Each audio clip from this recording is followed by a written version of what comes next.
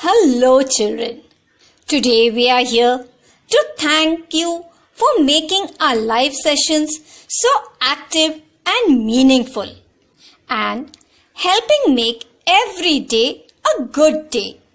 Children, you have made a lot of progress and you must feel pretty proud of yourselves.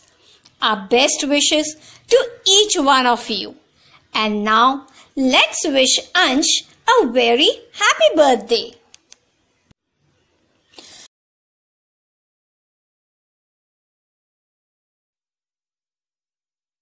Happy birthday to you. Happy happy birthday to you. Happy happy birthday. Happy birthday.